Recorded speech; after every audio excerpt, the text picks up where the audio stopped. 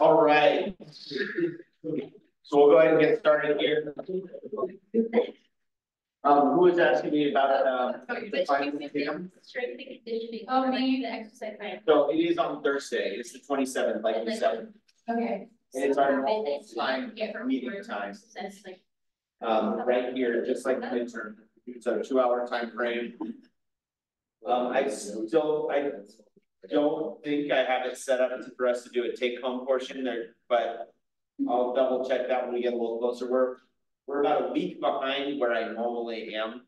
I say, say normally, but like I've been telling you, I haven't taught this class in five years. Um, so we're a little bit behind, so I don't think we're going to get to biochemistry or polymers. Um, we'll do, next week will be a, um, a real brief intro to organic chemistry. We won't have a lab to go with it because we're gonna finish this week's lab and use the time on your uh, research projects. Um, so you get OChem, in biochem is really more suited to the bio anyway. Um, when you get more into bio, after you've had OChem, biochem makes a lot more sense. Um, we wouldn't be doing anything that you wouldn't be relearning in an upper division bio class anyway. So, uh, we're not really losing out on that much, other than synthesis of aspirin and caffeine extraction. Yeah. No, or. Got behind on the labs. The big caffeine extraction. It doesn't always work, so. Just in the car, this is the PR thing that's chemists talking about like coffee. how- Um, I'll have to look that one up, that sounds like, that sounds like one I would enjoy. All right, so, stuff we're gonna cover today. Um, we're gonna talk about coordination compounds. And just in real basic terms, so this is, like I've, I've mentioned before, um, most every. la- or most every chapter that we cover in this entire year-long series is its own upper division course, practically. Um, if not several courses in some cases. Um, coordination compounds show up in, um, upper division inorganic chemistry. So an inorganic is really just the catch-all term to differentiate from chem, most chemistry from organic chemistry. Um, so inorganic chemistry typically is dealing a lot with transition metals, metals in general, and how metals interact um, with solvent molecules, sometimes how they interact with carbon-based molecules, we'll see some of that today. Um, but this is really just kind of sort of pique your interest, um, give you some, some basic ideas, basic concepts that do show up in things like biochemistry. There are some biochemistry applications we'll talk about today. Um, but I don't, I don't remember seeing this in Gen Chem when I was a student. It's, I was also not a great student when I was nineteen taking this class. Um, so it's possible we went over it and I just wasn't there that day. Um, because that happens sometimes. Um, but anyway, the, the point is, if you wind up taking an upper division inorganic class, all these concepts will come back. And you do see aspects of it, um, in both in organic chemistry and in biochemistry. Because what we're gonna talk about today is a lot of, of, um, a lot of Lewis acids versus Lewis bases, which is, means we're talking about acids and bases not in terms of uh, protons, but in terms of electrons. Um, and basically everything just flips. If a, if a Bronsted Lowry acid is a proton donor, a Lewis acid is an electron acceptor. Um, and we'll talk about why that makes sense and why that's not contradictory here a little bit as well. Um, but basically the same coordination compounds that we're gonna be talking about today are the same types of bonds and complexes that you wind up making that kind of holds all of the metal ions that are present in, in living cells. Um, are all mostly held in place. They're either freely floating around as, um. As just ions, they're kind of regulating the, the pH or regulating the, you know, um, voltage potential across the cell membrane in the case of stuff like sodium ions or potassium ions. But more commonly, more metals are found as these complexes and things like iron ions bound to hemoglobin molecules. Um, copper ions bound to enzymes as part of the electron transport chain. Manganese does the same thing. Um, pretty much most of the quote unquote minerals that are, that are required in dietary requirements um, are metal ions that are required to, to, they basically stick in the middle of certain enzymes to cause certain processes to happen. They're, carbon is great and well and versatile and everything, but there's some things where you actually need metals and d orbitals for them to, to work in living cells. Um, so we're gonna get into just some of the theory for why that is. Um, transition metals do this a lot because of their partially filled d orbitals. They wind up making a lot of these complexes. Um, and really, like I mentioned in lab, it's these coordination compounds are another way of looking at those complex ions um, that we that we talked about with the KF values. So KF is for the formation, is the equilibrium constant for the formation of these coordination compounds or of these complex ions. Um, so we're just gonna go into more about what they are and what they do um, in, in today's lecture. And we do see that because of the partially filled d orbitals in, uh, in those transition metals, we do tend, they do tend to be colored um, and absorb light in the visible region. That's, that's a pretty small energy gap that leads to things being absorbing or fluorescent in the visible region. You have to have energy levels that are pretty close together, um, which is why d orbitals wind up working out really well then, because a d orbital and a p orbital, so the 3d orbital and the two in the 4p orbital are really close in energy. Um, close enough that's a small gap that's fall where the photon would fall into the, the visible spectrum. Um, most electronic transitions um, of, of metals especially tends to be well into the UV or the X-ray region. They're a lot further apart. Um, and that's why we, we see a lot of transition metals in things like dyes and ceramic glazes. Um, that we get a lot of these because they have those partially filled d orbitals. And a lot of times we can actually tweak those energy levels, just like we were talking about with the doping with, with semiconductors. We can tweak the energy levels here by switching out what um, what compounds are making these complex ions with the metals. So for instance, copper, copper two is a, is bright blue when it's surrounded by water molecules. But if you surround it by methanol molecules, you get like an emerald green color from the same ion. Because the interactions between the molecules around the metal and the metal and the metal atoms d orbitals wind up forming different wavelength light.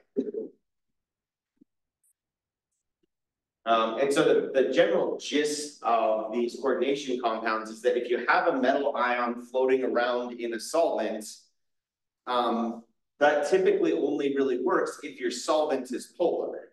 Your solvent has unpaired electrons especially, um, because you need to do something that's going to pr produce some attractive force between the solvent molecules and the, and the metal um, ions.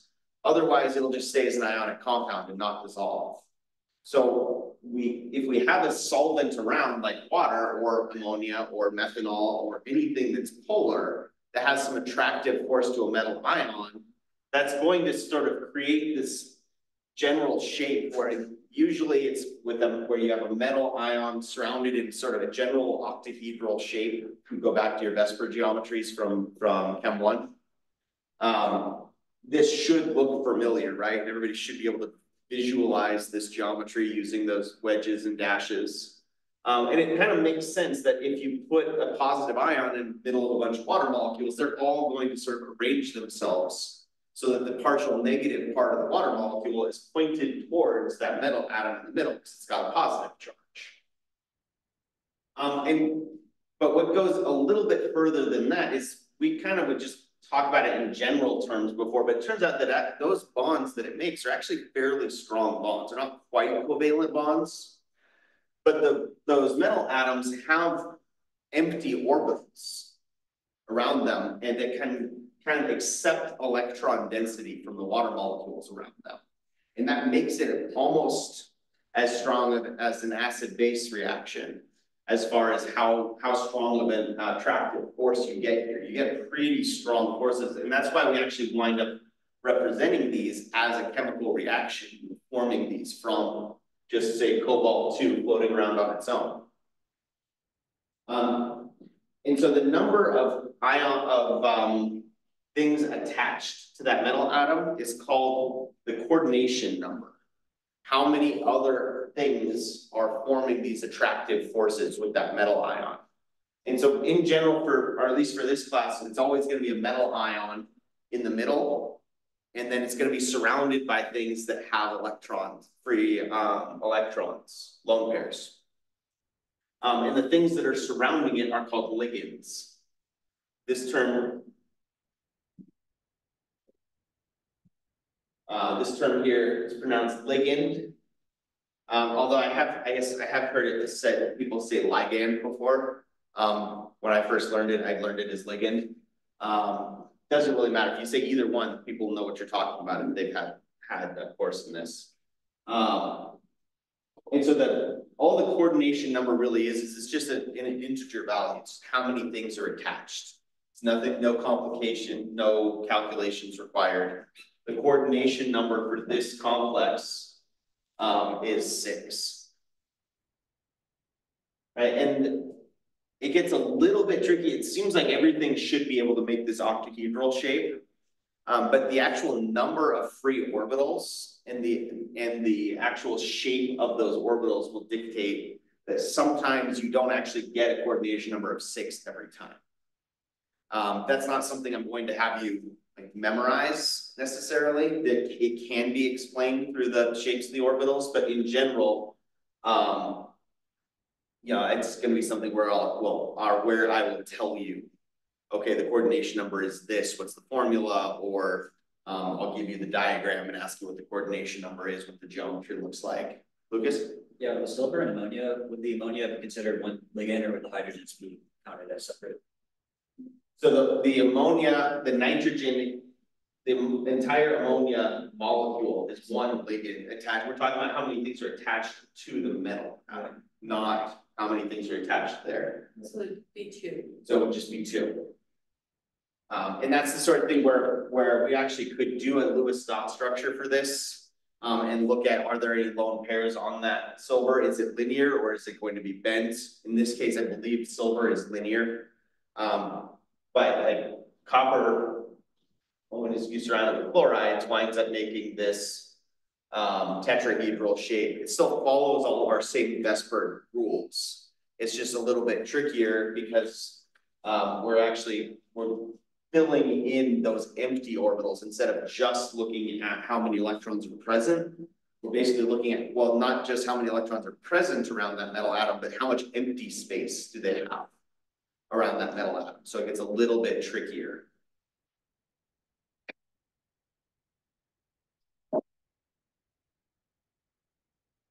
Um, but in general, I think most of the, the metal atom, metal ions that wind up making these coordination complex, complexes, um, don't have really any lone pairs.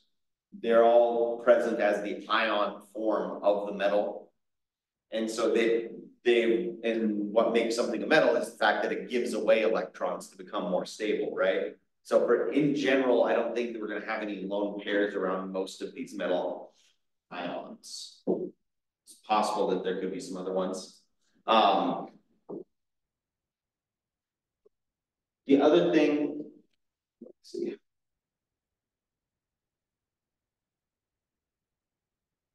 Um, before we get into some more vocab, the other thing to look at here is that we have, we basically have one charge for the entire complex.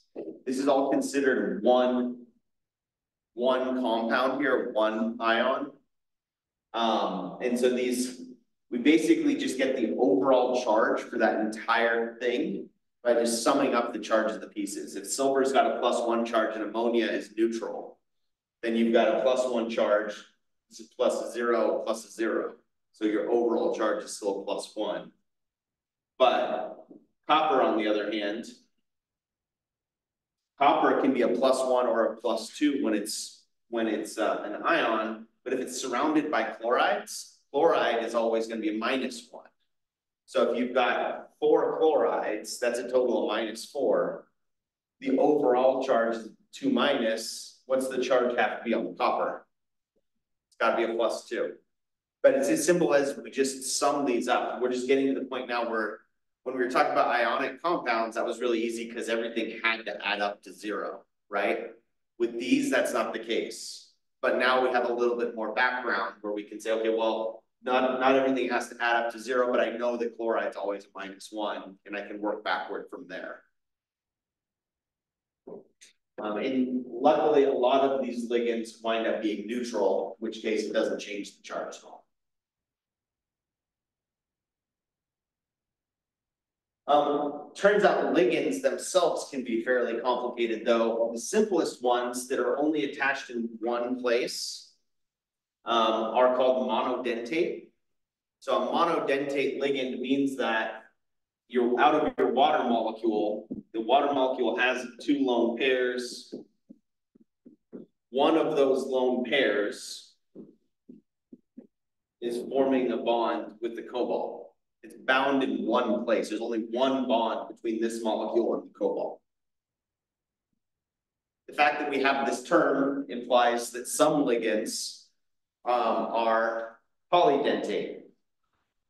Polydentate ligands are more complicated and they tend, they're, not they tend to, they are um, larger molecules typically that have more than one lone pair and those lone pairs are in more than one physical location on the molecule. Like water has two lone pairs on the oxygen, but they're both on the oxygen, right? So they're physically limited to only making a bond in one place spatially. Some of these, these larger ligands, like ethylene diamine, which is often just abbreviated uh, EN, lowercase en. Um, it has two different lone pairs and there's a physical separation. There's a spatial separation between those two lone pairs. Which means that this one molecule can bond to a cobalt in two different places. Instead of having a water molecule and a separate water molecule. Next, let's see. Yeah, you wind up with one molecule attached to the cobalt in two places, one, two. Which makes it look a whole lot more complicated, doesn't it? Um, it's still the same thing we're talking about. And it, it becomes a little bit easier to see if I just, maybe if I just take this, if, if that's a nitrogen and a nitrogen, that's a carbon and a carbon, and those are attached. It's still attached the same way, we still have an overall octahedral shape around that cobalt. It's just the things that are attached to that cobalt are themselves attached as well. So you get these sort of these ring structures out of it. Um, and if you do that three places on the cobalt, you wind up with three ligands, but they still have a coordination number of six on that cobalt. The cobalt is still attached to six different lone pairs. It's just that each of those lone pairs is, two of those lone pairs can be a part of the same overall molecule. Um, and that same logic can, can expand further. Um, you can actually have, if you have a really large molecule, this is called a heme complex.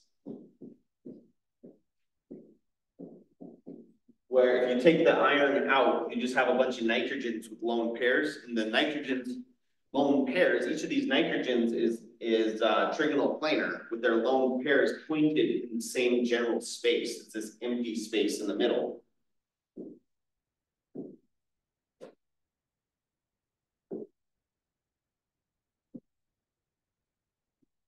Just scratch that out. If you remove the iron from the heme complex, you get a totally different molecule that's called a porphyrin ring. Let's see if I can spell it right. Or we're in, yeah. In this porphyrin ring, there's these lone pairs that are all spatially pointed in the same direction. And you can wind up with, it- with an iron sitting right in the middle there, sort of held in place by these uh, attractive forces, but, and you wind up with that being tetradentate ligand. That's one molecule that's connecting to the iron in four different places.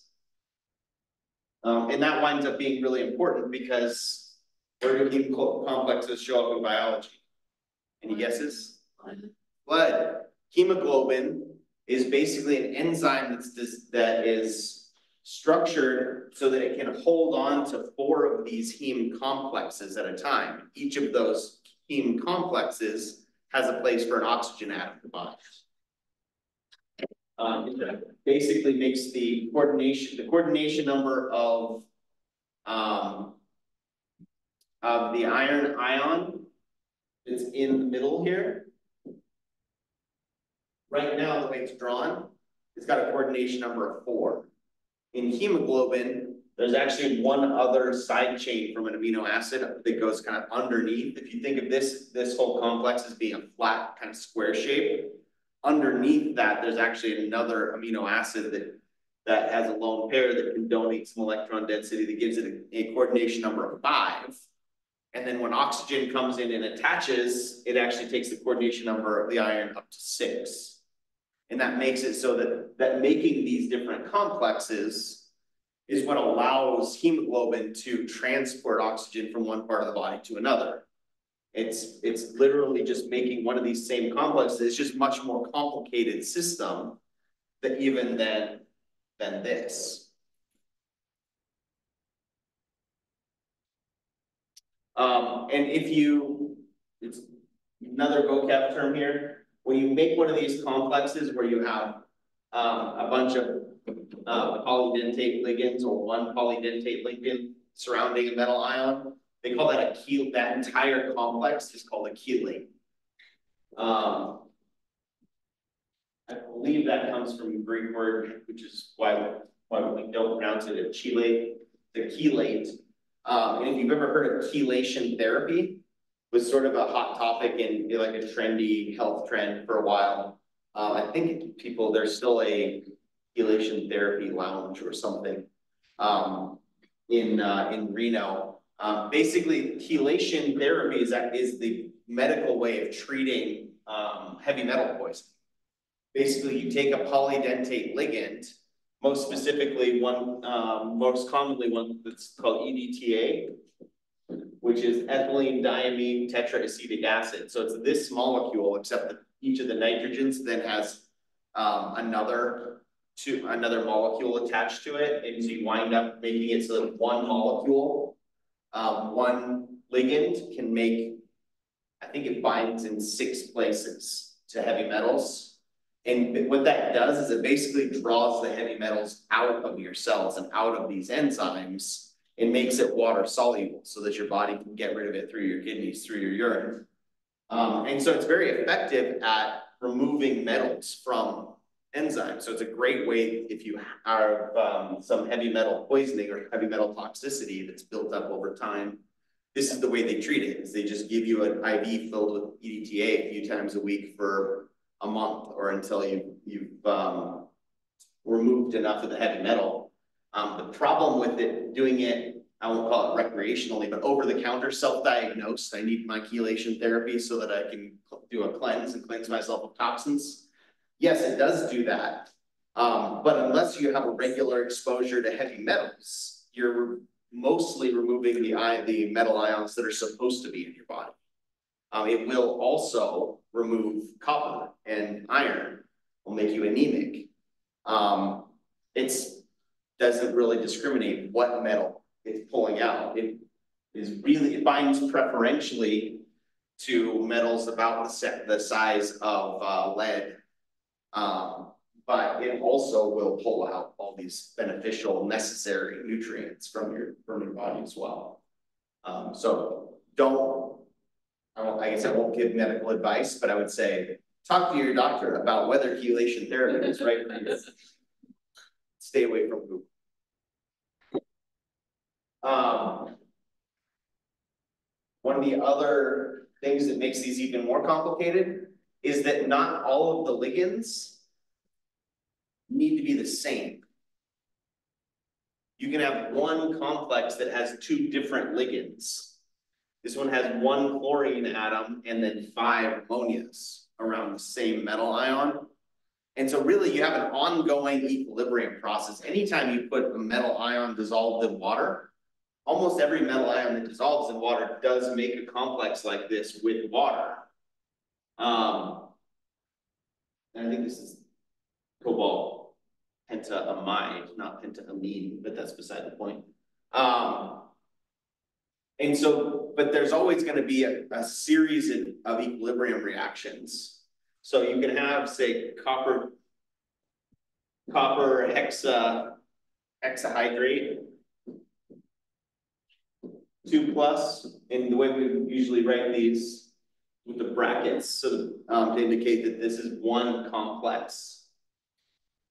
Is gonna be in, if you add chloride to this system. There's gonna be an equilibrium reaction between six waters around one copper and a complex that looks like one chlorine and then five waters. And that whole thing is gonna be a plus one. Ah. That whole thing is gonna be a plus one. And then that has an equilibrium reaction where if you've replaced two of the water molecules with chloride. And so each of these is gonna have its own, its own KF value, its own equilibrium constant. Um, and depending on the size of those equilibrium constants and the concentrations, you get one, one form of the copper complex, the copper chelate, that is more dominant, if you wanna use that term, than the rest. And this is why, think back to the cation, um, lab where you had to get the pH just right in order for the aluminum to precipitate out. We had that issue with a bunch of the groups, right, where we made it too basic we wound up with the aluminum staying dissolved, staying soluble, right? So basically, by adding too much hydroxide, we shifted the equilibrium so that it didn't favor making the solid, it favored making the um, aluminum complex ion instead. And so a lot of times these concentrations, these are all ongoing equilibrium processes that are constantly changing. Is there anything more? Um. So how do we, how do we actually name these? Basically, we just say what's there and we use prefixes to say how many. This is a little bit like covalent compound name nomenclature where you, you physically, or not physically, you just. Literally said how many of everything you had, like dinitrogen pentoxide You just use those prefixes to say how many, because there's no way just based on charges to know what complex you're, you're forming. Um, and we just, if there's more than one different, um, different ligand attached, then we just say, we just specify and say, okay, well, this is cobalt pentaamine, pentaamino bromo, bromo pentaamino cobalt two or cobalt three. We say we kind of combine our two forms. It's a little bit, I guess it's probably more like the hydrate nomenclature where you use the hydrate, the prefixes to say how many. You saw to say what the charge was on the metal ion. Right, and so the the I guess I I skipped ahead to nomenclature. We'll go back in a second. And so each of these different, these different ligands has its own, you know, prefix that we go along with it. Um, if we have a chloride, a chloride add, we say chloro. If we don't have a prefix on this list, like for the ethylene diamine down here, we just say ethylene diamine. And so if I wanted to name this first one, ethylene diamine is neutral there's two of them. So the charge on the copper's gotta be plus two, right? And so the way that we write this, this will be similar to the way we write the name for organic compounds that we'll talk about next week. Um, we start by saying it's copper two. Once we know what the charge is on the copper, we start by just writing copper two. And then we're gonna do, everything else is going to amend that, by, we're gonna amend it by adding prefixes. So we kind of work from right to left when we're writing these names out. Say the name of the metal ion that's in the middle. And then you work backwards, say, okay, well, it's got ethylene diamine and there's two of them. So we just literally say di. Ethylene diamine. I didn't leave myself enough space.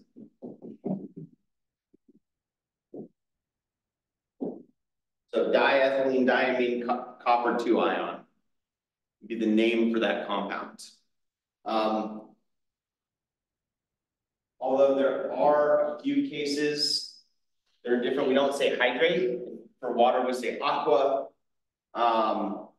The other thing is if it's a polydentate ligand, we use a different set of prefixes.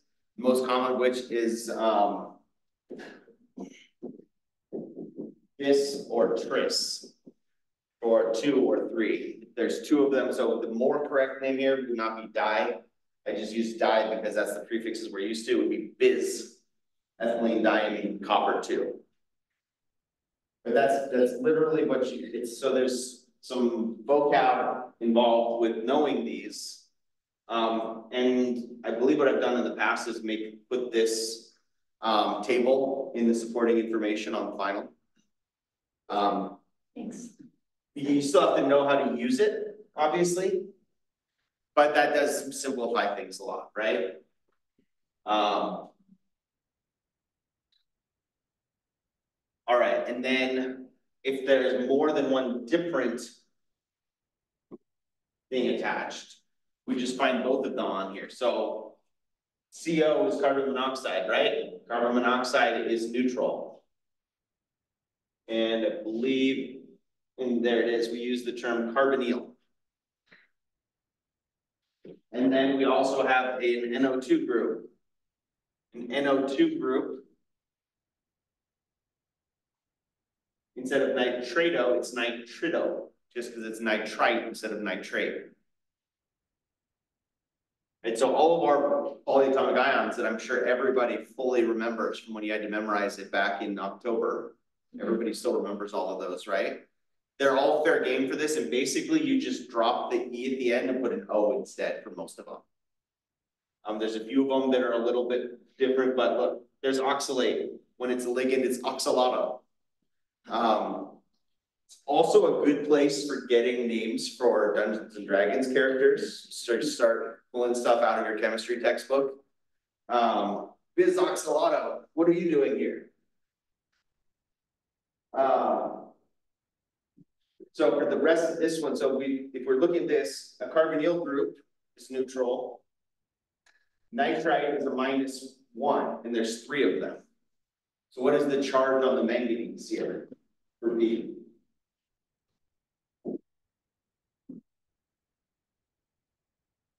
Three nitrites, they're all minus one. The overall charge is the plus two, so the manganese has to be what? Plus five. So we start by writing the name of the ion, of the, the, in organic chemistry, we call it the parent molecule. In this case, it'd be, think of it like the parent ion. Be manganese five. And then we're just gonna add the prefixes and say tricarbonyl.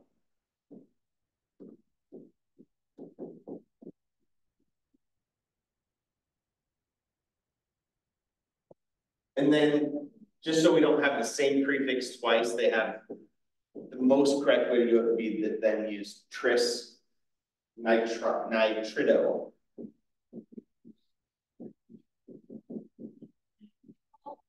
Tricarbonyl manganese five. Supposed to be NO three. No, there's three of them, but it's NO two. So it's nitrito, not nitrato. So as always with chemistry, we're really, really picky about our spelling and our and semantics. Um, because we're trying to convey a whole bunch of information in a really small amount of space, right? So every letter counts in some cases. Um, and the difference between nitrite and the nitrate, as we learned back with our polyatomic ions, is significant. That we on the carb? Carbon. No, sorry, that's the Okay. carbon, That's, this group right here. yeah, that's what I thought. I was just- That's just a hyphen. Why? Um, because if you don't put hyphens in, you wind up with one giant long word. That's hard to parse where the different prefixes begin and end. Um, so I tend to, every time I'm going from one prefix to another prefix, I use a hyphen to indicate that it's a different thing. And between the prefix and the. Um, I tend to do that as well, or sometimes it's just a space, but usually I put a- a hyphen there as well. Otherwise you get Why don't we- Try- Um, because it's easy to miss a space, especially when you're handwriting things. Uh, hyphen makes it really obvious. You could use an underscore just as effectively, but hyphens are more common. So, but tricarbonyl, tris nitrido. Space manganese. Five. That's even harder to parse than this is, right? Um, so I tend to just over hyphenate things. Um, as a way of making sure I'm seeing the distinct blocks of text for what they mean.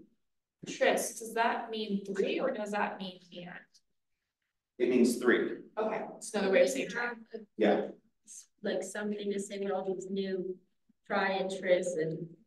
Yes, uh, there's an updated, there's a, so. Like your list of polyatomic ions. Um, there's a fine line between being comprehensive and being overwhelming. Um, and so this examples of anionic ligands is far from comprehensive. The other table that I found. Um, that I was looking at while I was prepping. See. We don't have a table of new prefixes. We, we do, I'm just trying to decide on how complex of one to give you. Um.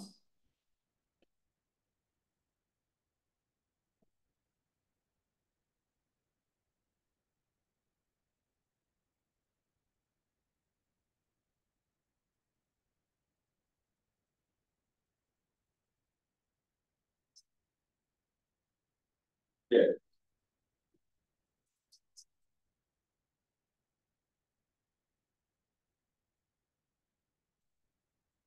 So here are the other, if if it's a polydentate ligand, or if you already use the prefix di, then you use bis. If it's a, if it's a polydentate ligand and you, or you already use the prefix tri, you use tris. And then there's tetra and tetrakis, and penta and pentakis. How going over polydentate, like when you're writing these out, you have to do the post op? You kind of have to know coordination chemistry and know that ethylene diamine is going to generally be bidentate. Um, but you see how this, this page is pretty comprehensive about and gives lots of examples and everything, but it's also a little bit overwhelming. Um, so I'm trying to walk that fine line between giving you enough and giving you too much. Um, and that's in chemistry, when we have one lecture to cover this, that's kind of hard to know. It's like I said, I took a whole upper division course on this. Um. And at which point, it was really easy Will you give us, on, on chelates and ion complexes. But every class had its own nomenclature. Orla? Well, it seems like with the simple ions, we name the metal first, but in these cases, there's all this stuff first and then the metal is. That seems like a clue, as well as it just being a really ridiculously long. Well, and the thing is, is that each of these can then make an ionic compound. So you can have. You know, tris carbonyl or tricarbonyl tris nitrido manganese five has a plus two charge. So you could actually have two chlorides attached to make it neutral and have a solid. That's what we did in lab today. is we made a complex ion that had an overall negative charge, minus two charge, and then added potassium ions, because we're trying to make it form a solid. Um, and so our normal rules about ionic compounds, when they're solids, still apply here. We, we can take this. And then, so the full name in that case, we would, if this is the plus two charge, we had Cl two attached there to, to balance out the charges, it would be tricarbonyl trisnitridomanganese five chloride. Yeah. It just, we keep building layers upon layers of nomenclature, and we'll see this again with organic chemistry. Organic chemistry does the same thing, where you build all of your standard rules that we'll establish at the beginning of organic chemistry still apply at the end of organic chemistry, we just have layers upon layers upon layers. Um, which winds up getting really overwhelming sometimes, I realize. So I don't wanna spend too much time on the nomenclature, we'll do some practice with it. Um, but it's really one of those things, the more time you spend with it, um. And the more, the better you know your polyatomic ions, the more this all makes sense. Right, as long as you know the ending of your polyatomic ion. Just like with the acid nomenclature, they all have their standard, if it ends in I, you just turn it to an O. If it ends in eight, it becomes eight-o or auto, depending on how you pronounce it. Um, I turns into Ito. Or Ido. Will we be expected to memorize any list of polydenddates? And will you give it to us if we are? Or no? Let's, let's look at the study guide to the final, and see what I, what I did last time. Uh,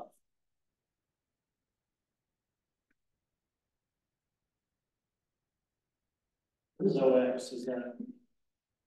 OX, Yeah. Ox. Oh, sorry, as a, that's Oxley. okay, Where's my files? I like the obvious answer too. It's all about context, right? If we're talking about Oregon Trail, it's clearly an ox. Uh, Did you say your son was playing that? It was, they have, you can, um, you can play it as a flash game on, online now. Um, and yeah, he still had fun, he kept dying. Um, and he got in trouble in school because he was, he was rafting down the river. At the very end, when his teacher told them to close their computers, but I'm almost there, and he just ignored her, um, he got in trouble. Because that's he exactly what I would have done. But did he make? He did make it, yeah, did. so I think that was worth it. Um, them to yeah, that's what we're looking for.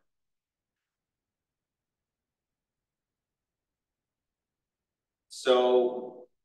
We do name the structure and formula, and then we do some concepts questions when it comes to this, so I will give you the name.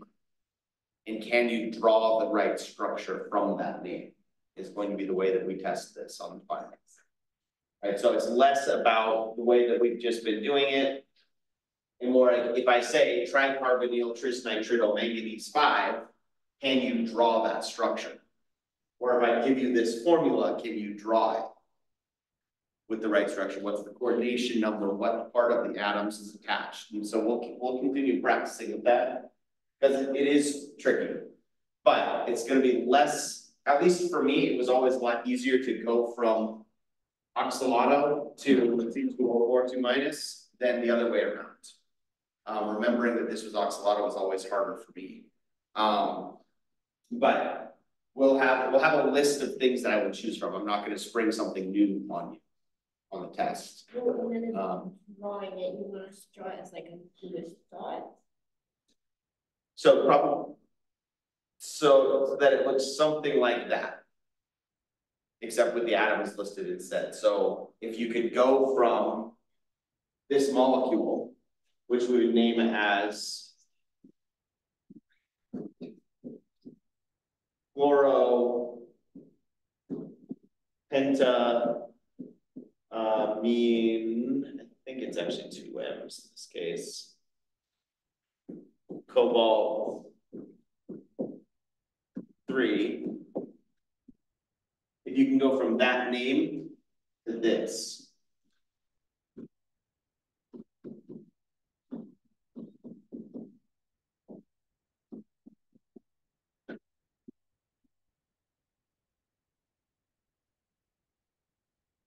And show it as. Okay, that's a wedge coming out of the board, those are going into the board. Here's a wedge coming out of the board, these ones are in the plane of the board. So drawing that structure from the name or from the formula. Is what I mean, Will they be like lone pairs? not on the ligands. I- I'm not looking, so I, I'm not looking for the complete structure, like, I don't, you don't have to write, um. You know, every lone pair on the chloride. I'm mainly interested in that metal ion and what's attached to the metal ion. Can you post another list of the polyatomic ions, just? Yes, we'll do that as well, so we have that to review from. Is it cobalt or is it cobalt too? Cause it's like the NH three are one, one plus each. The NH three are neutral, ammonium NH four doesn't have a lone pair, but that's got a plus one charge, so the ammonia. Are all neutral and the chloride's got a minus one charge. So. Naming things is complicated and obnoxious. Um, let's practice just going from the formula. To drawing the structures. And I'm gonna give everybody five minutes to work on this and then a ten minute break. So we'll come back, build this into our break. You can take your break first and come back, or vice versa. But we'll, I'll start working through these problems at five after.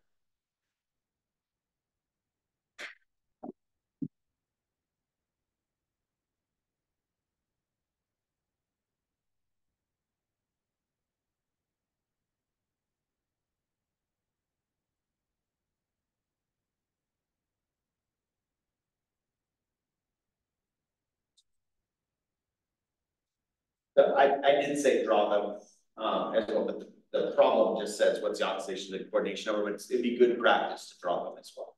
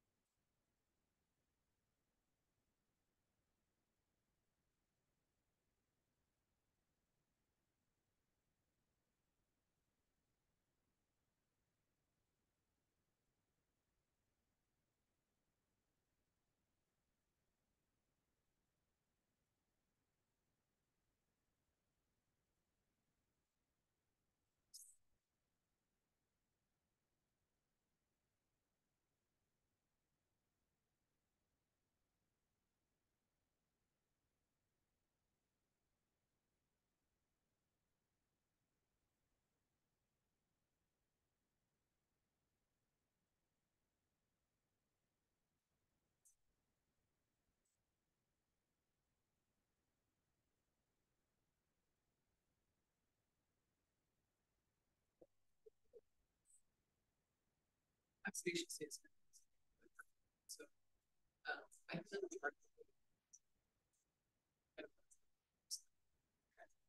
But what if that was that, is to create two plus. because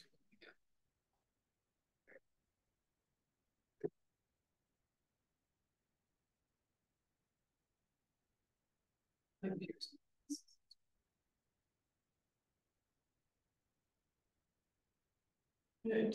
not plugged in. Looks eating all the time.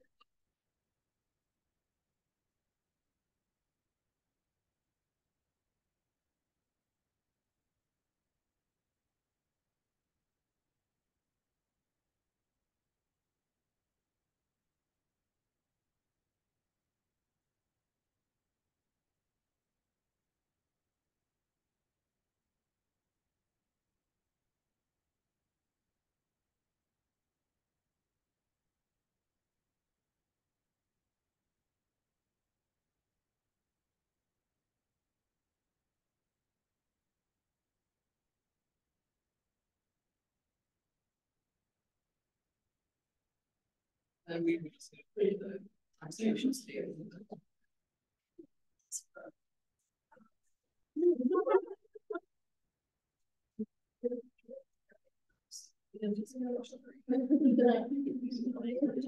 Ah. All, think over, it's like, it's, now. Oh. And then we have. So the first one, cobalt ammonia, the bromine is just. Analysis, so. Yeah, I kinda- It also needs actual. Uh, little gaseous like. Is it five? It's not six, because it's five, five and six things. five. Yeah. Let's Yeah. I- Sign I get to do mine. Yes, just be. Yeah. I mean, it's one, like, you might have, I don't need to mess with it.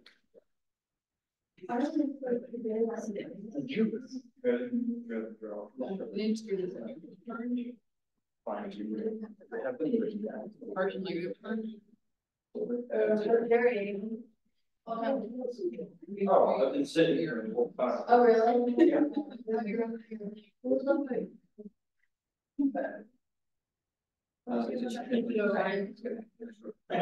That's how you, that's why you. that's why you. So I have to remember number. So it's whatever, it's whatever, all of your.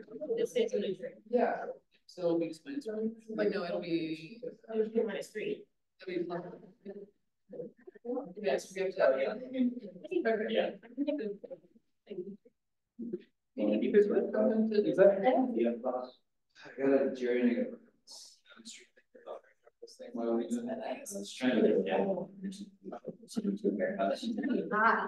I've been trying, to get four, five thirty. Oh. The first game that you. Be after this stage.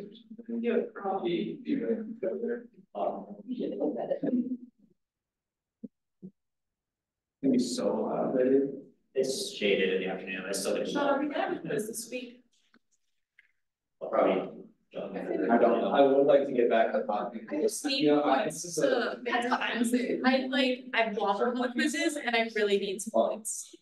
Yes, you So I said. thought Yeah. perhaps- I was like, a quiz. So I'll let you know. I don't want Yeah, you like, to. maybe I'll be going back out there again, I just wanna like be familiar with myself. talk for Yeah. a.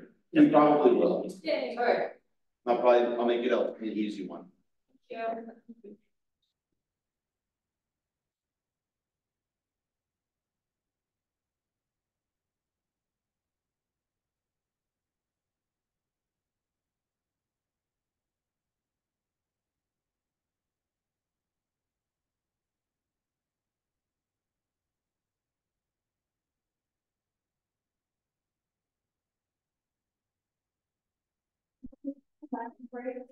But, uh, but,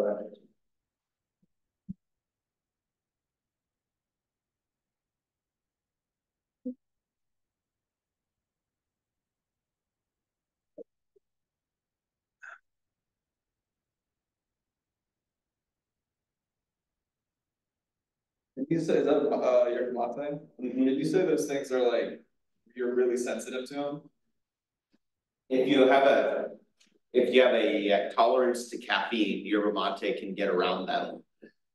Yeah, is that again, because it's also caffeine, right?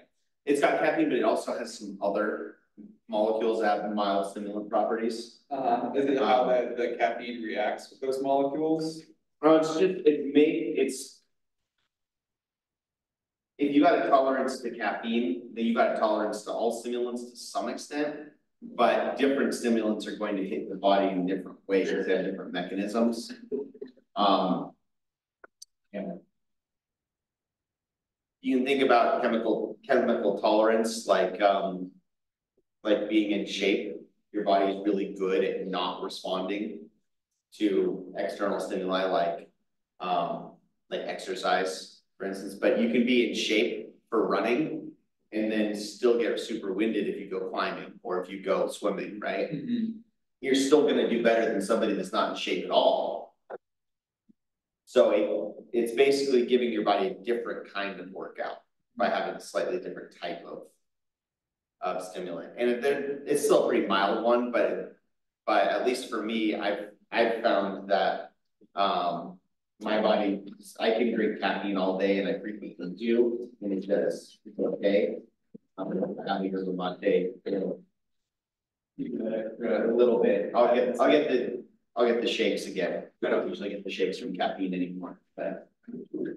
I don't know, like a positive thing is another thing. I feel like I get like a lot, of like, like a caffeine high off your lattes.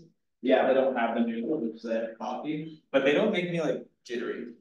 It depends on the day, when I'm already this sleep deprived and have this much going on, um, it'll give me.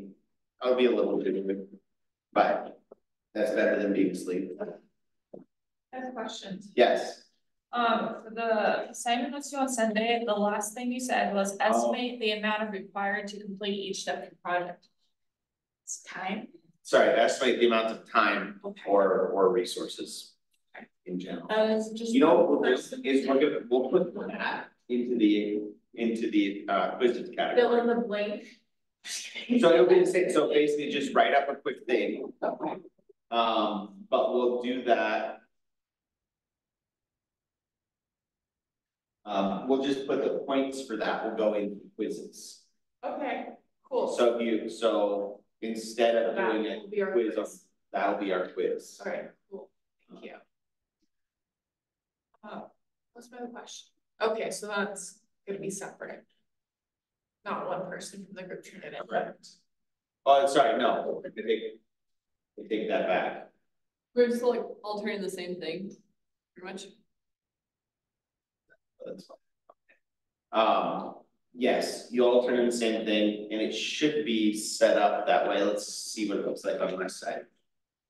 Um, we'll change the points be worth ten, so it's not worth more than other quizzes.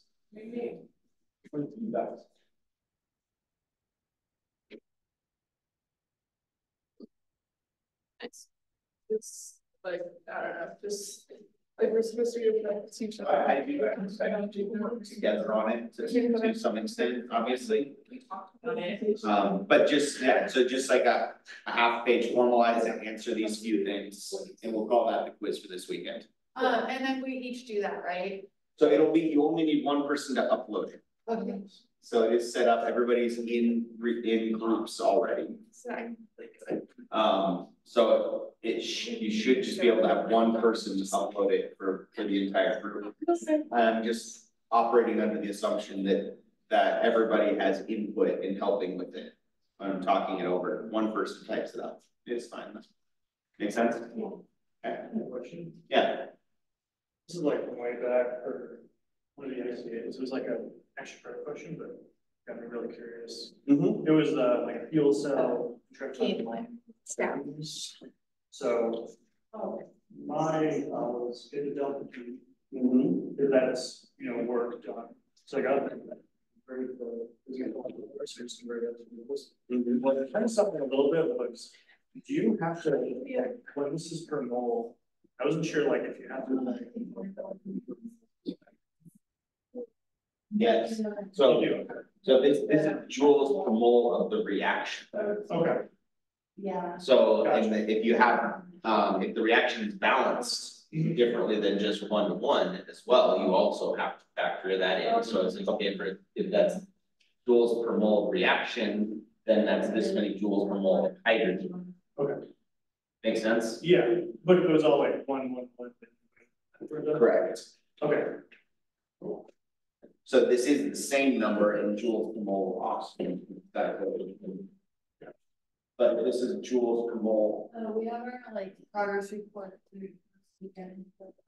Um, I can- And I always write it out as a conversion to make sure I'm not multiplying what I'm supposed to divide. Yeah. One mole of reaction is two moles of hydrogen. okay, so I did, it. flipped. Good to know. Yeah. Or there's like. And that's, I, I, I always, when people ask, what's the multiplier or divide, I still always have to write it What out. would you want hydrogen to be a, uh, like if you're trying to, It depends on what you're trying to do okay, and how you have the problem. so if you're trying to find moles of hydrogen, then it would. Yeah, so basically you're gonna say, okay, if I want this many joules, I need, you know. Yeah. X times ten to the twenty-four joules. Then this would be flipped, then this would be flipped. Right, so then you get joules, okay, if I need that many joules, this is that many moles reaction, and that many moles reaction is that many moles hydrogen. But I, there's a reason that we emphasize using conversions for solving word problems, so, so, um. Strictly in Gen Chem, it's because it keeps you from making those, those, um, I multiplied by a thousand, when I'm supposed to divide by a thousand Yeah. errors. Yeah. Yeah, that was a fun one, like, we got a new pair of shoes, those were really bad, they were like, what was it, and use. Right. There's probably several that'll give you the right answer. I just went out there and just. Um, it's just a matter of what makes the most sense to you and.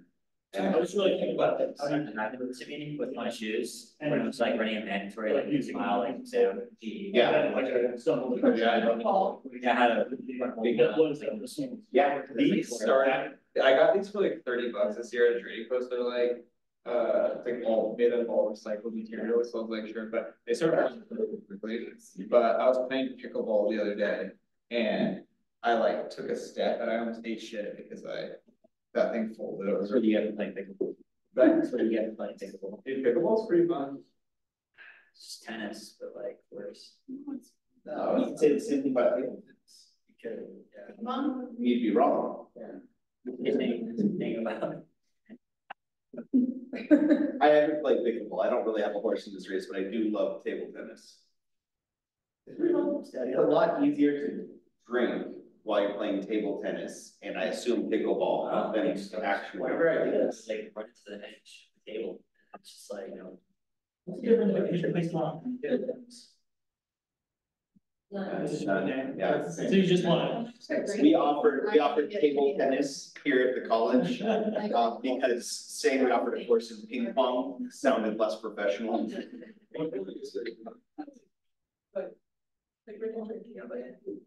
I don't like, I don't like, um, like, That's a, that's a. deep one. Gambling. You like that? That's a so,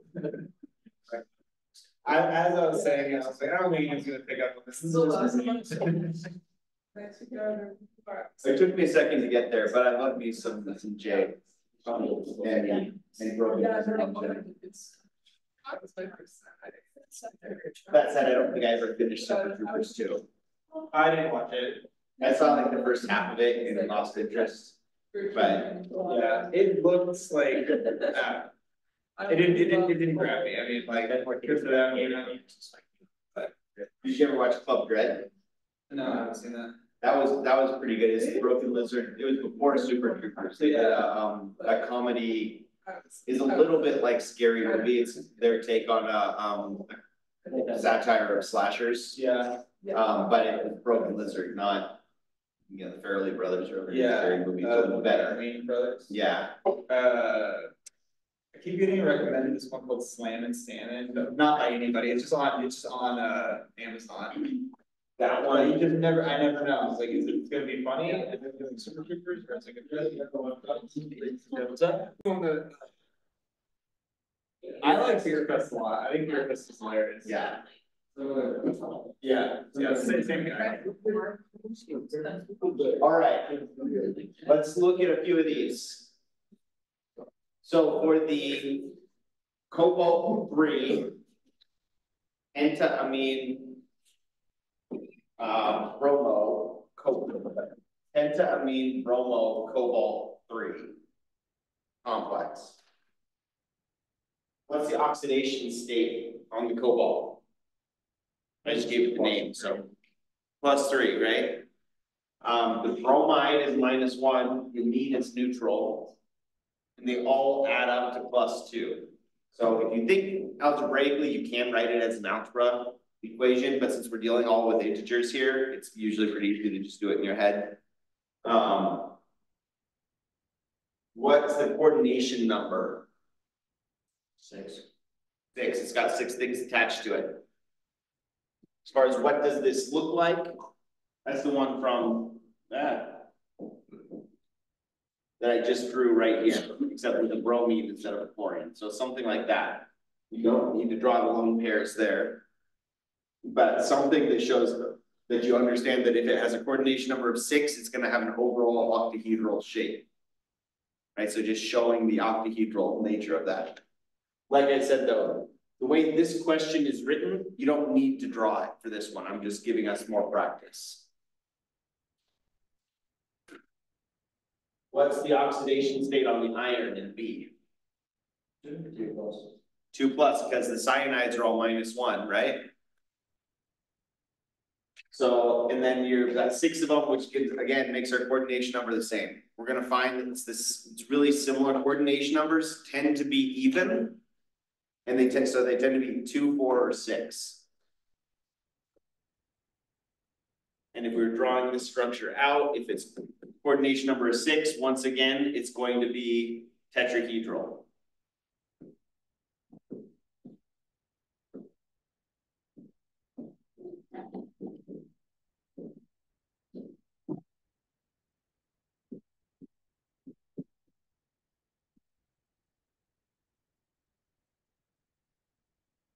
Right, that's have it.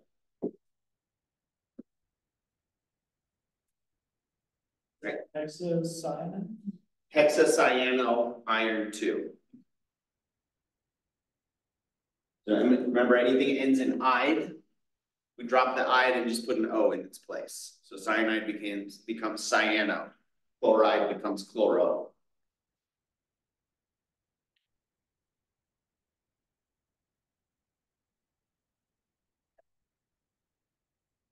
How do we know which end of the cyanide attaches to the iron? We look at the Lewis dot structure for cyanide. It looks like this, right? Why is it, I'm sorry, why is it NC and then CN? Because I'm showing what's attached. The carbon's Oh. attached, the nitrogen's not back. My question, how do I know that? Is it the electronegativity? So like, would be carbon? Um, it's, it's not the electronegativity, because electronegativity, nitrogen is more electronegative, so that would mean that. I guess you could think of it, we worked backwards through logic. You could say that nitrogen is more electronegative and therefore less likely to share. The way that I think about it is in terms of formal charge though. You have got a formal charge, uh, um, on these, how many? You guys remember doing that with how many electrons does it own versus the, on the periodic table? How many electrons does this carbon have? Five. And how many does it have on the periodic table? Four. So it's got one extra electron. So that's got a formal charge of minus one versus the nitrogen also has five electrons, but it has five on the periodic table as well. So the nitrogen's got a formal charge of zero. So one, with the negative charge is more likely, is going to be more attracted to the iron. And you, but you can absolutely also think of it as the, the element that is more electronegative is less likely to share. Um, but the other reason this is worth bringing up is because this, there is a form of this. This is, there's actually an equilibrium process where these cyanides are flipped, or one of them is flipped. It's flipped the other way so that the nitrogen is attached to the iron instead of the other way around. That's isocyanum. Um, but we're not gonna get into that in too much detail other than understanding that it exists. Um, at, at this point. Um, how about C? What's the oxidation state on the cobalt? Two plus? What's the oxidation state on each oxalate? Oxalate is C two eight, or sorry, C two O four, not H four. Two minus. It's two minus. And there's three of them, so that's a total of minus six, so the charge on the cobalt has to be plus two. What's the coordination number on the cobalt going to be?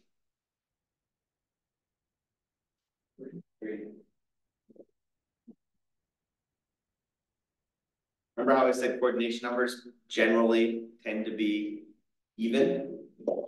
What could ox what does oxalate look like as a structure?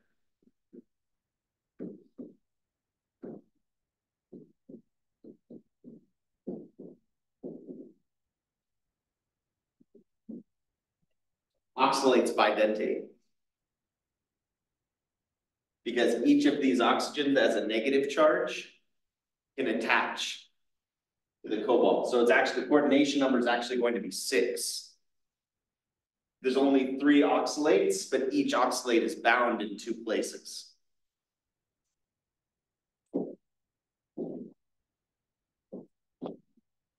So you wind up with something that looks like.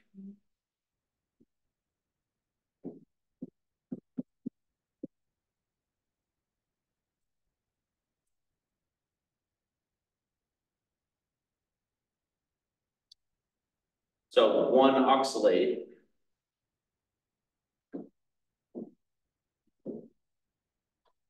There's an oxalate attached to the cobalt in two places. Each of the three oxalates will do the same thing. So just like the ethylene diamine that we saw before. So part of this is knowing which one of these, which of these are um bidentate versus which ones are monodentate. Um, and in general, if the larger the molecule, the more likely it is to bind in more than one place. So you, you literally can't have bromide be bidentate because it's one atom. Right, and even the, even cyanide is still only two atoms. It has two lone pairs on two different atoms, but they're geometrically opposite from each other. So um, it- oxalate and ethylene diamine are the ones to watch out for. Those are the ones that show up all the time that are bidentate. Um, the rest of this structure would then look like. Try and draw this. Showing the whole structure, but also, So would it be six? so the coordination number would be six. Because it's got six things attached to it, even if. There's only three ligands.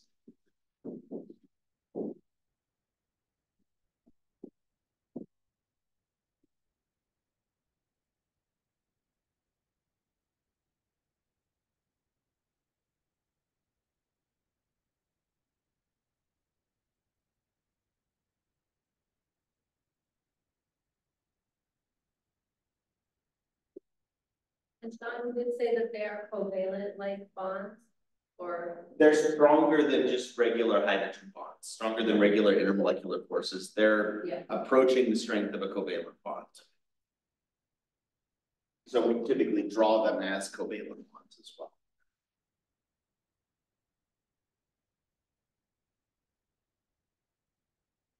How about palladium tetra, or tetrachloropalladium? What's the charge on the palladium? Charge on the palladium's gotta be plus two. And then what's the, what's the geometry, when what's the coordination number first, I guess? Four. And in this case, if the coordination number is four, that tells us that it's going to be tetrahedral.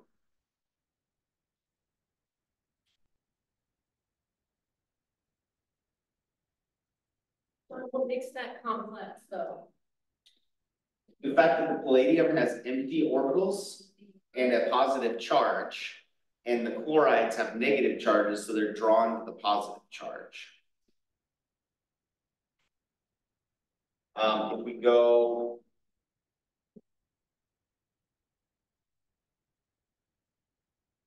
Go back to looking at this one, this is, the reason I, I, I said we're gonna talk about Lewis acids and I haven't talked about Lewis acids at all yet. Um, is because when you make these bonds here. You pull electron density from the oxygen and put it towards that positive charge in the middle.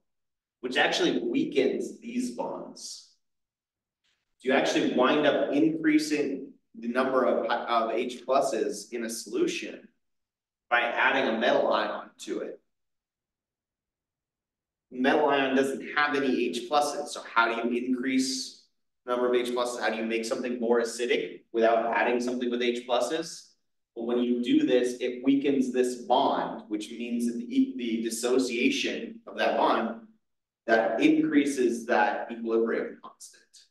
And so you actually can wind up with some of these water molecules turning into hydroxides and releasing an H plus. So it is really similar to a covalent bond, we just, we started off. Defining covalent bonds by saying covalent bonds have to be between two, between two nonmetals, right? Well, as with everything that you've learned in this class, that's a generalization. Then we added the polar bonds, right? Well, really, as long as your electronegativity difference is under this threshold. Then it can still be a covalent bond between a metal and a nonmetal. This is another way that you can make a covalent bond between a metal and a nonmetal. Um, and it changes the pH of your solution as well. Um, basically, we just keep adding layers of, um, of complexity here, right? We start removing assumptions. Um, the general, the, the joke among chemists and chemistry students is that every year you have to unlearn what you learned last year and then learn it a different way. It's not wrong. It's not that we're teaching you things that are wrong initially. It's that we're teaching you generalizations. While you get the hang of things, then we start removing those scaffolds, removing those crutches. Um, as we get more and more complicated. So don't blame me when you have to relearn all of this in a year or two. Um, that's just the way that you have to learn how math works, how you have to learn how science works to get progressively more complicated.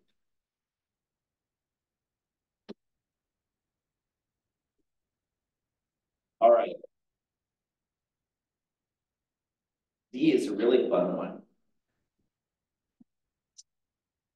D is two coordination complexes forming an ionic compound with each other, one with a positive charge and one with a negative charge. So you get an ionic compound made up of two of these individual coordination complexes. Um, and it's really a pain in the ass to make. So let's try it. You just go left or right? If all of us. So I would name them separate. As soon as I say that there's two coordination compounds there, I'm gonna name the first one and then I'm gonna name the second. one. Um. So this one here, that's a cobalt. Actually, I would name the second one first because we don't know the charge on the cobalt yet. You can guess what the charge Actually, we don't have a way of figuring this out. Because the cobalt could be plus two or plus three and the.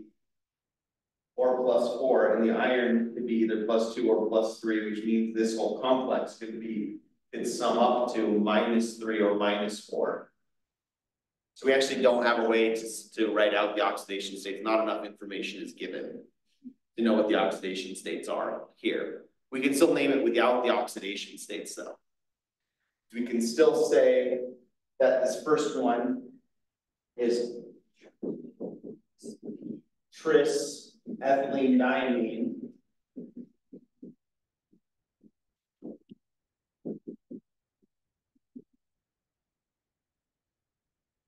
Cobalt. And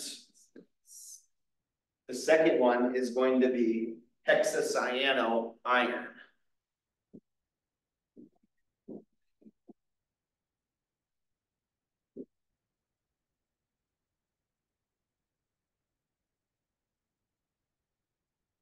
Test, are you gonna give us the ethylene diamine or, or is it gonna be written as EN? It'll be written as, as EN like this. Um, the formula for it is, I think it's on one of the later slides, but it's written as NH two, CH two, CH two, NH two. You don't wanna write. Then you have to write it out like this. So, and you can't combine them because you need it to be clear that the two nitrogens are on opposite sides of the molecule and how they're attached. Um, in order for it to be the right molecule. So EN is easier.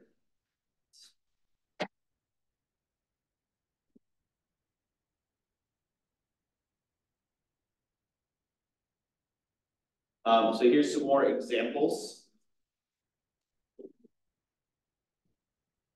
And these are specifically examples in which the complex is a cation.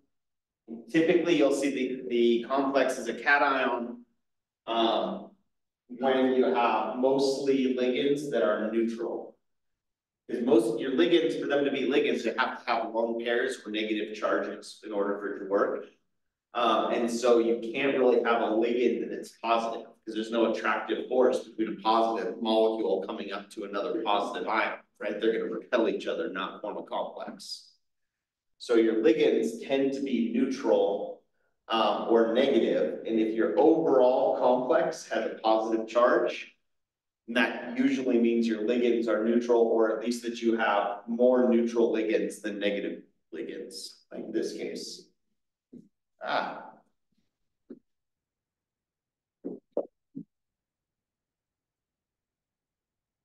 This one has two chlorides as part of the complex, but it also has four waters.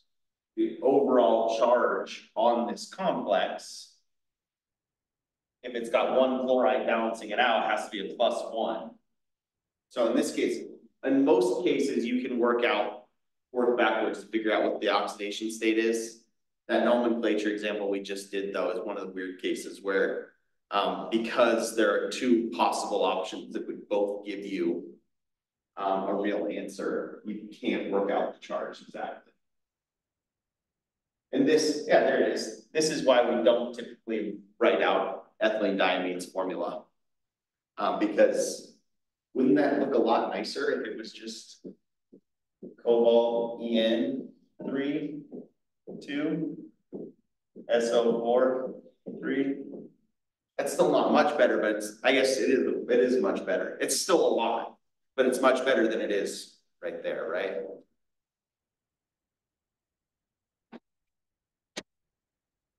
Have charge? No, it's neutral. So oxalate is bidentate with a negative two charge. Ethylene diamine is bidentate neutral. Does that have lone pairs, because it seems like it's often used in It does, those nitrogens each have a lone pair, each of those nitrogens. So the carbons in the middle don't. But the nitrogen has a lone pair.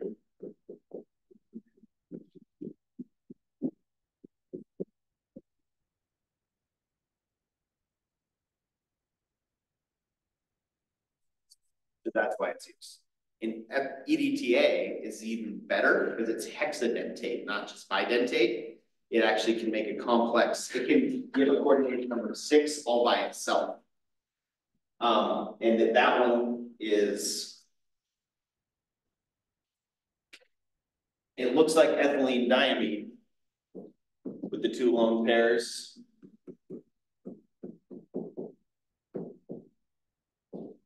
Except that each of these nitrogens is then attached to an acetate.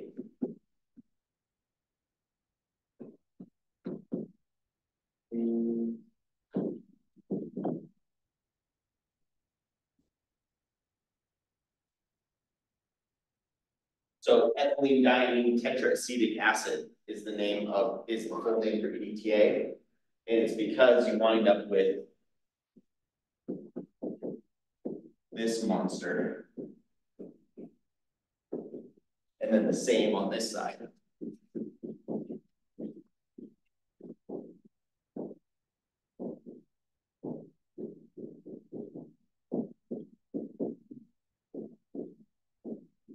So you can see how this molecule being this big with this many negative charges and lone pairs, it basically envelops a positive charge uh, metal ion, it just completely surrounds it with electron density, and you get one complex that has a coordination number of six and is still highly soluble in water.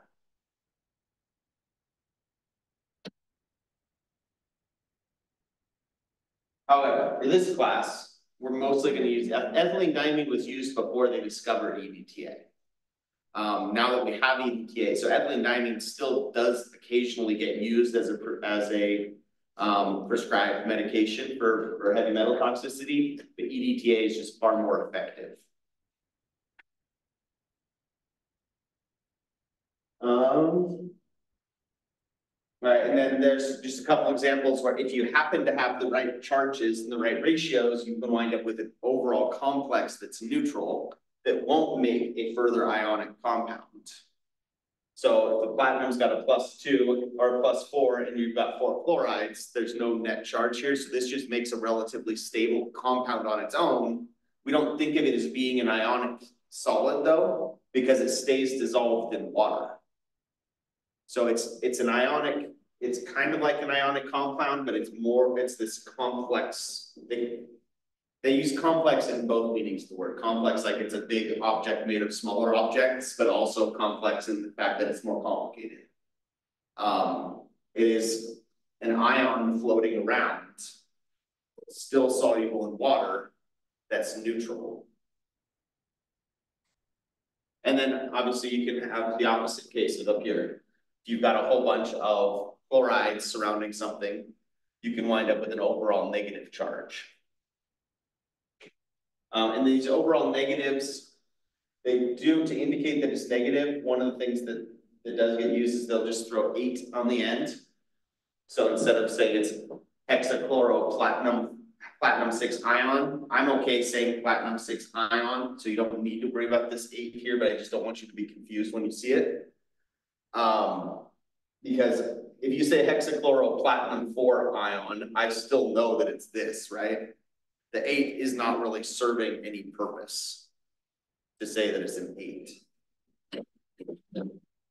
That makes sense to everybody? It's sort of redundant. If you know that it's platinum four and you know that there's six chlorides, you don't need to put ate to say that it's negative. Um, I guess that's mainly just cro crossing a crossing T's and dotting I's. So if you make an ionic compound out of this, you don't get something that ends in um, since none of our ionic compounds end in um ever. They always end in ate, ite, or ide. Um, but again, I'm not gonna be picky about that. Um, there's more practice naming things here, and again, I'm thinking I'm going to give you all this, it's probably not gonna be exhaustive, but it'll be enough for whatever's on the test, so that you, you have this. Uh, or something that looks very similar to this. Um. And I'll probably, I'll include ethylene diamine on there too. Um. The, and the trick with ethylene diamine is if, if it's something that you don't have a complex for, or you don't have a name for, then just say the word ethylene diamine. Um, when you're, when you're naming these, like we did before, this would be tris ethylene diamine cobalt. Oh, uh, Dr. Franz was like, I felt like a little bit. A strict, we're on spelling. Um, my rule of thumb on spelling is somebody else who took this class could read what you wrote and know what you meant. I'm usually not gonna mark you down on spelling. You start getting into, I left off a whole syllable, or I sw switched out the P in platinum for an F. Um, all of a sudden things get a lot more complicated, right? Um, so it's, it's, I don't have a hard rule on if you spell it wrong, I'm gonna mark you down. If you spell it real wrong, I'll mark you down. And that's sort of a, that's a fuzzy line. I know that's not necessarily helpful. Um, but you spelled platinum with two T's, I'll forgive you that. Just don't call it platinum.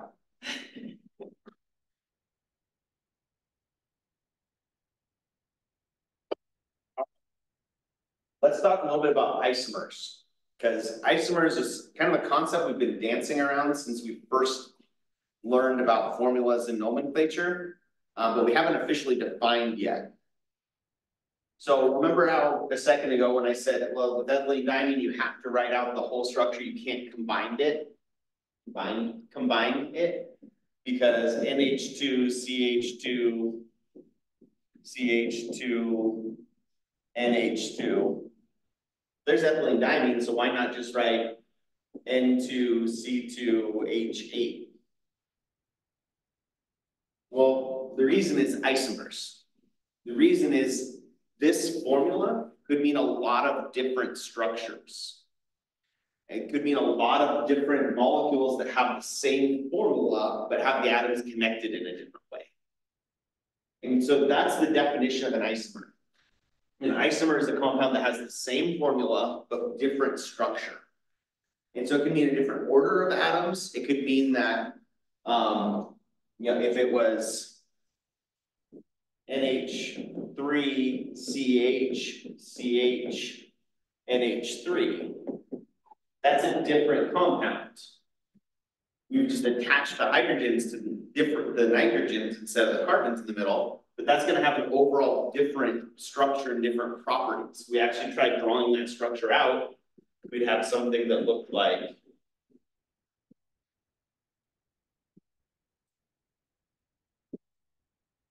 H three. Something like this.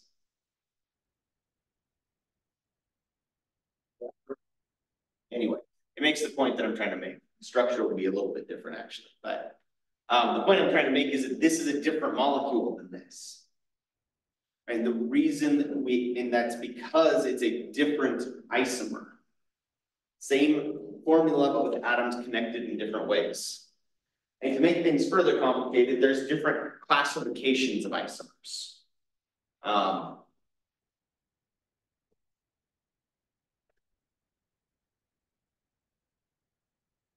The type of isomer I was just showing you is called a structural isomer. They, the official definition is the atoms have different connectivities, which is a, a confusing way to say that different atoms are connected to different atoms. Same overall formula, but arranged in a different way. Um, and when it comes to coordination compounds, that can mean something like your ligand swaps with one of the ions that's just there to balance the charge. The ions are just there to balance charge are called counter ions. So for instance, if we had something like CuH2O for CL2. If we switched one of those waters for one of the chlorides, we could have Cu H2O 3 Cl. Cl. Where one of the chlorides is part of the complex, but one of the chlorides is just their valence charge. Those actually behave differently. They have different chemical properties. Um, you can also have what are called linkage isomers. Linkage isomers is what we were talking about before with cyanide. When I said, okay, well, the, the carbon is, is bound to the iron in the middle. How do I know it's the carbon? Because the carbon has that negative charge, right? Um, if it flips around so that the nitrogen binds to the iron instead of the carbon, it's still an acting as a ligand. It's still the same molecule, same polyatomic ion acting as a ligand, but attached at the opposite end. And so that's called a linkage isomer. We changed what part of the ligand was attached to the iron or to the uh, metal ion in the middle.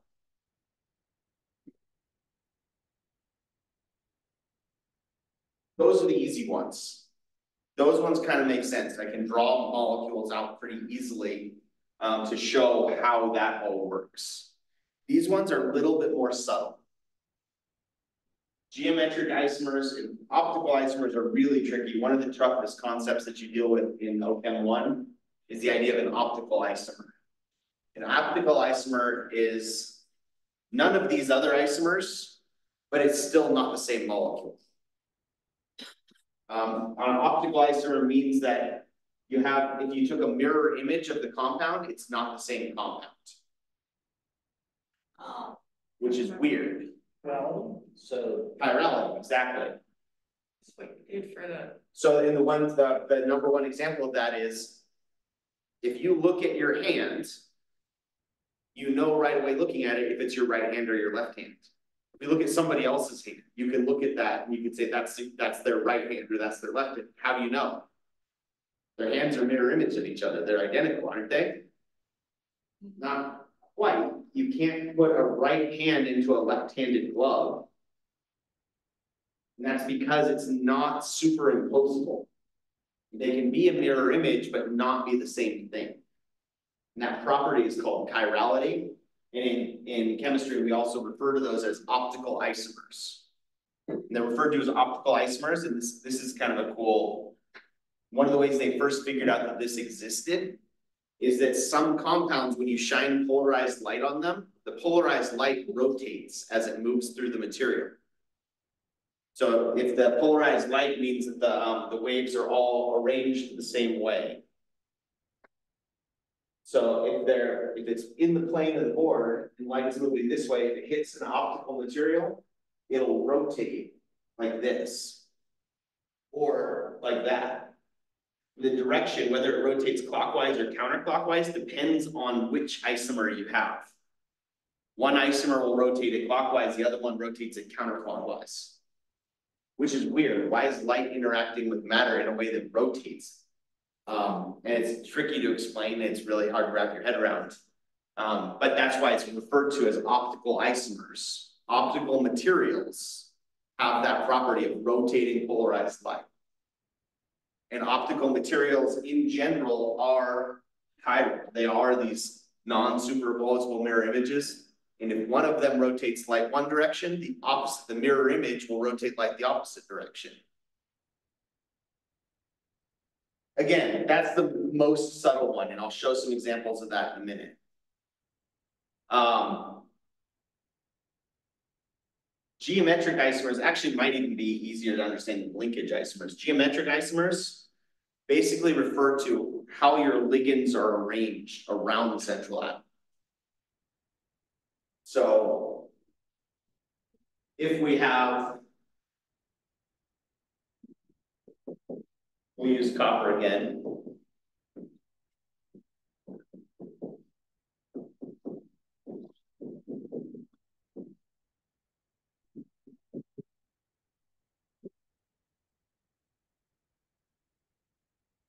This compound, dichloro tetra aqua copper.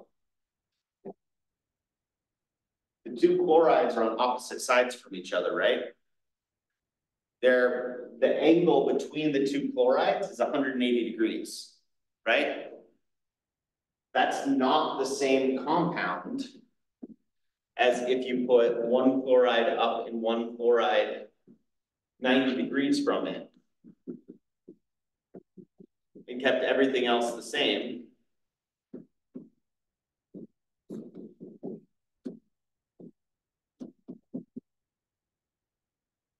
having the chlorines ninety degrees from each other instead of hundred and eighty degrees is a different compound. You can't take this one and rearrange it to make this uh, without, without breaking one of these bonds, moving the chlorine and then reattaching. Which makes it a different molecule. So this is an example of a geometric isomer. A geometric isomer means that everything's on the surface, everything looks the same, right? The copper's got the same number of bonds to everything. It's four, four oxygen to carbon bond or to uh, copper bonds and two chlorine to carbon bond. I'm saying that chlorine to copper bonds. But the fact that you can arrange them differently means that you have two different geometric isomers. And so we use the, the terms that we use to describe this, we just use, we just add one more prefix. Like I said, we're just gonna keep adding layers to these names. And again, I'm not gonna be that specific when it comes to your nomenclature problems on this test. I want you to understand that this process exists. And if I gave you these two, tell me which one is trans versus which one is cis. Trans means opposite, means across. Cis means on the same side. So because the two chlorine, they're not exactly on the same side, but they're in general facing kind of the same way. They're not opposite from each other, is the big point here. Lucas? Uh, how do you know which ligand to look at? Like, do they know what on this transfer says, like water versus chlorine? If you only have two of them, those are the two that you're gonna look at. Uh, an example of coordination isomers, would that be like the OH two and the H two O? Um, if, if I actually flipped this around so that I was drawing so that the hydrogen was attached Oh, okay, to the copper, but that can't really happen because you need a lone pair. Yeah. So something like cyanide group or a nitrate Nitrate has a, or uh, nitrite has a lone pair on the nitrogen, and then it also has lone pairs on the oxygen. So either the nitrogen or the oxygen could make a bond. And so specified, so that's an example, is it the nitrogen that's attaching, or is it the oxygen that's attaching? Gotcha, so something with two. um, Right, and so nit- nitrites, um, sulfites and cyanides are the most common ones for, for that geometric. Or sorry, for the linkage isomers. Um. The other type of geometric isomers are fac versus mer. Um, those ones are a little bit trickier. If you have three and three instead of four and two, if you have four and two, it's a cis versus trans. If you have three and three, you can either arrange them so that each three is, are in a T shape relative to each other.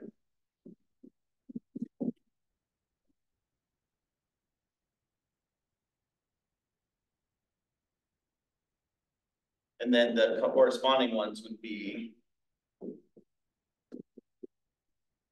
You can see how the chlorines are making, are in a T shape relative to each other, and so are the waters, right?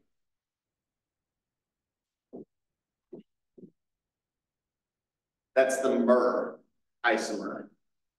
The fac isomer puts all three of them in the same side molecule. So you get something like